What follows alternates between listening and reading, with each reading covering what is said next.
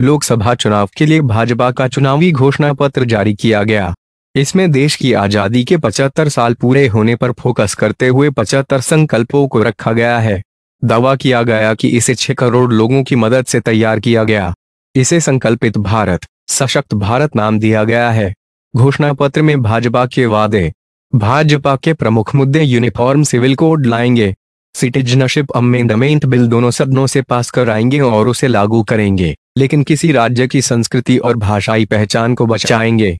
राम मंदिर के संकल्प को भी हम दोहराते हैं। हमारा प्रयत्न होगा कि राम मंदिर का जल्द से जल्द निर्माण हो जाए। कश्मीर से अनुच्छेद डनय हटाएँगे। गाँव किसान 25 लाख करोड़ रुपए ग्रामीण क्षेत्रों के विकास में हम खर्च करेंगे। किसानों की आय को हम 2022 तक दोगुना करेंगे। किसान क्रेडिट कार्ड पर मिलने वाले एक लाख के कर्ज को पाँच साल तक ब्याज मुक्ति रखेंगे। आदिवासी स्वतंत्रता सेनानियों के लिए हम संग्रहालय बनाएँगे।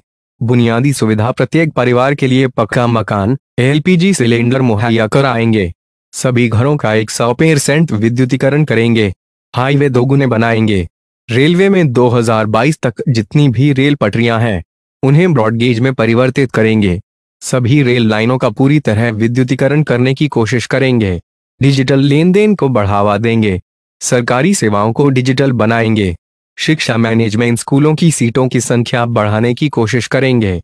इंजीनियरिंग में एक्सेलेंट संस्थाओं में सीटें बढ़ाएँगे। लॉ कॉलेजों में भी हम सीटें बढ़ाएँगे। स्वास्थ्य आयुष्मान भारत के तहत एक 25 लाख हेल्थ केयर सेंटर बनाए जाएँगे। गरीबों को दरवाजे पर ही चिकित्सा सुविधा मुहैया कराने के लिए भी हम पूरी कोशिश करेंगे। कोशिश करेंगे कि बचकर 1400 मरीजों पर एक डॉक्टर उपलब्ध हो। सुरक्षा आतंक के प्रति ज़ीरो टॉलरेंस पॉलिसी रहेगी। भारत में होने वाली घुसपैठ को हम सख्ती से रोकेंगे। महिला सेनाओं में महिलाओं की भागीदारी बढ़ी है। इसे अब हर क्षेत्र में बढ़ाएँगे। संविधान संशोधन कर संसद और विधानसभाओं में महिलाओं को 33 परसेंट आरक्षण देने के लिए प्रतिबद्ध हैं। व्यापारी राष्ट्रीय व्यापार आयोग बनाएँगे जो व्यापारियों और बिजनेसमैन की चिंता करेगा। दुकानदारों को 60 साल की उम्र के बाद पेंशन देंगे।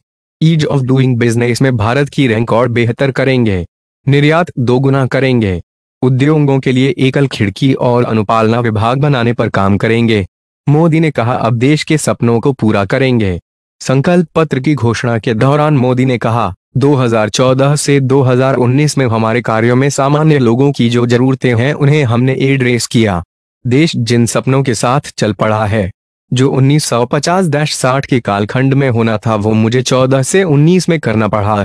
पहले हमने जरूरतों को पूरा करने के लिए योजनाएँ चलाई और अब देश के सपनों को पूरा करने के लिए काम करेंगे। गरीबी से लड़ना है तो दिल्ली में एसी में बैठे लोग गरीबी को परास्त नहीं कर सकते। मैं भी एसी में बैठता हूँ, इसलिए ऐसा कोई दावा नहीं कर सकता। गरीब ही गरीबी को खत्म कर सकता है। शाह ने कहा, मोदी सरकार देश की अर्थव्यवस्था ग्यारहवें से छवें नंबर पर लाई। घोषणा पत्र जारी होने से पहले अमित शाह ने कहा 2014 से 2019 की यात्रा का जब भी इतिहास लिखा जाएगा तब यह पाँच साल स्वर्ण अक्षरों में अंकित करने पड़ेंगे।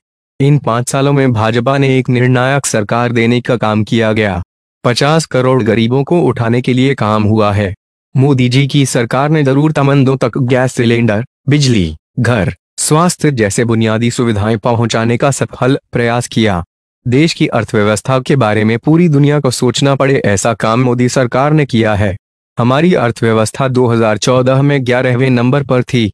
आज छठवें स्थान पर पहुँच गए हम और तेज़ी से पाँचवें स्थान की तरफ़ बढ़ रहे हैं। मंच पर सात नेता, आडवाणी जोशी नहीं।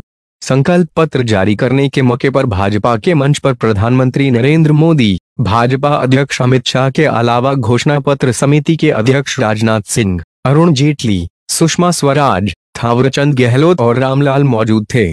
लालकृष्ण आडवाणी और मुरली मनोहर जोशी मंच पर नहीं थे। 2014 और इससे पहले लगभग हर मौकों पर इन दोनों नेताओं की मौजूदगी में ही भाजपा ने लोकसभा चुनाव के लिए घोषणा पत्र जारी किया था।